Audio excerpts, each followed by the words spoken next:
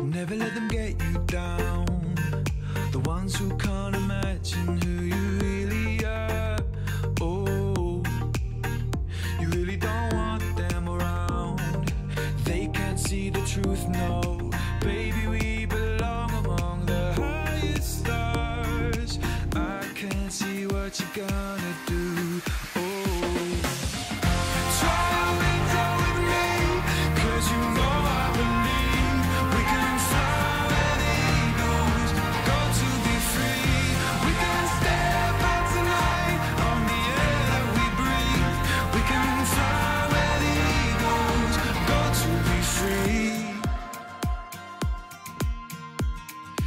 Never gonna let you go. Now that you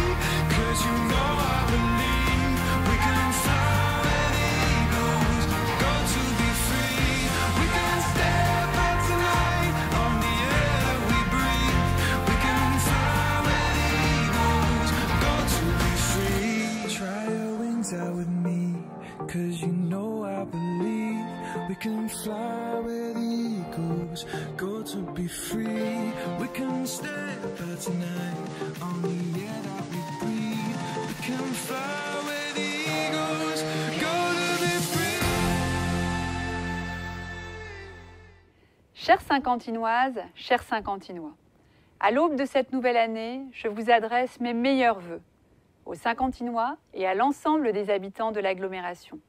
Que 2021 soit pour vous et pour tous ceux que vous aimez une année plus sereine.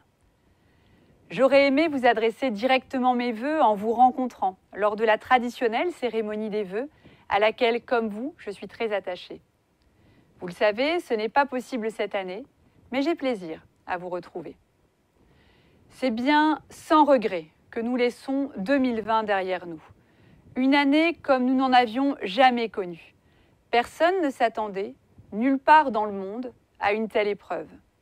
Évidemment, je pense à celles et ceux qui ont perdu un être cher, qui ont un parent ou un proche touché par la maladie. Je salue l'engagement des professionnels de santé qui sont mobilisés encore et toujours. Nous leur devons beaucoup. La crise du Covid-19 bouleverse notre quotidien dans le travail, dans la vie familiale, dans la vie sociale et occasionne une crise mondiale. Nous vivons des moments éprouvants depuis près d'un an et je sais combien ils sont durs pour les personnes isolées ou éloignées de leur famille, ainsi que pour les acteurs économiques. Dans ces moments difficiles, je veux aussi retenir et partager avec vous des initiatives et des actions positives. Les Cinquantinois sont débordants de ressources. Ils ont du cœur.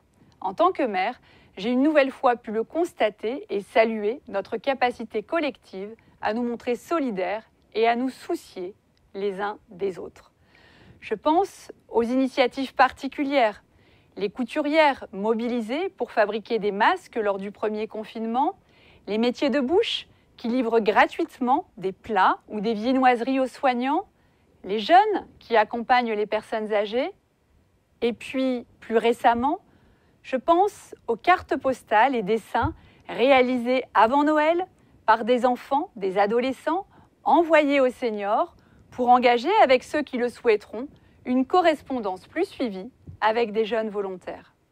Je pense également aux associations caritatives qui se sont mobilisées chaque jour, aux agents de la ville qui appellent les personnes âgées ou qui leur ont livré à domicile les colis de Noël. Je pense également aux agents de l'agglomération qui ont démontré l'importance de la continuité du service public, qu'il s'agisse des interventions sur l'eau et l'assainissement ou sur le service des déchets. Vos témoignages, tout au long de l'année, de soutien ont été nombreux. De la chaleur, du réconfort, de l'attention aux autres, c'est important, surtout en ce moment. C'est pour cela que nous avons souhaité amener de la magie et de la féerie au cœur de notre ville avec des décors de Noël, des illuminations et des animations surprises. Parce que cette chaleur, nous en avons tous besoin. Aux premières heures de 2021, nous espérons que cette année sera plus positive, même si le combat continue. Nous avons évidemment tous hâte de nous retrouver tous ensemble, de nous rencontrer, de rouvrir les lieux de vie, de retrouver nos associations, les lieux de culture et le sport. Au bout de cette crise, nous y parviendrons. Cependant, il faut faire preuve encore de patience, mais d'optimisme. D'optimisme raisonnable, mais d'optimisme tout de même. En attendant, nous continuons nos actions de solidarité. Les aînés ont contribué à bâtir notre ville au fil des ans par leur travail, par leur engagement citoyen, par le bénévolat de nombre d'entre eux au sein des associations. Ils apportent encore beaucoup à notre ville, nous leur devons beaucoup. C'est pourquoi nous poursuivons notre accompagnement à la ville et avec le CCAS.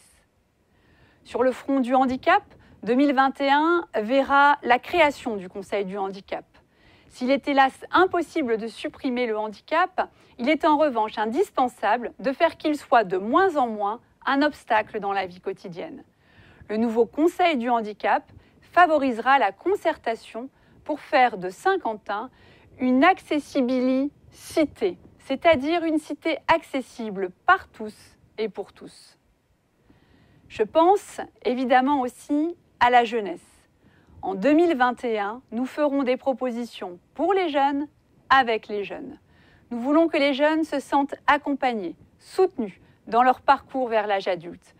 Les jeunes cinquantinois ont tout autant de talent, de créativité et d'envie de réussir qu'ailleurs. Nous voulons que cette jeunesse puisse, dès que possible, se retrouver autour d'activités. Nous sommes prêts, aux côtés des jeunes, à être actifs. Nous avons la chance d'avoir un enseignement supérieur avec de nouvelles filières et plus d'étudiants chaque année. L'enseignement supérieur, c'est un atout pour demain. C'est un enjeu pour permettre aux jeunes de se former sur place et aux entreprises de trouver localement les qualifications dont elles ont besoin. Que serait Saint-Quentin? Que serait notre agglomération? Si la jeunesse n'avait pas aujourd'hui l'espoir d'y apprendre, de s'y former et de s'y épanouir Alors, je veux me battre pour développer les filières supérieures. Nous serons chaque jour aux côtés des acteurs économiques, commerçants, artisans, entrepreneurs, avec des actions de soutien volontaire. Ils font preuve de courage, de résilience et d'inventivité pour maintenir les activités et le service essentiel à la population. Alors, nous sommes avec eux. Notre potentiel, c'est aussi des projets. En 2021, justement, le quartier du Faubourg d'Île bénéficiera d'un nouveau dynamisme avec l'ouverture de la maison des services à la population dans les murs de l'ancien casino, la création d'espaces verts et de logements. Le casino sera un lieu de vie incontournable pour les habitants, c'est ce que nous souhaitons. Notre potentiel, c'est encore un environnement protégé, propice à un cadre de vie sain et agréable, avec la création du Conseil de l'environnement. Nous poursuivrons notre démarche de développement durable pour intégrer à parts égales progrès et respect de l'environnement. Je serai également attentive, même s'il s'agit d'une compétence de l'État, à faire de Saint-Quentin une ville qui se soucie de votre sécurité. Chacun a le droit à la sécurité et au respect, comme le prévoient d'ailleurs les fondements de notre République.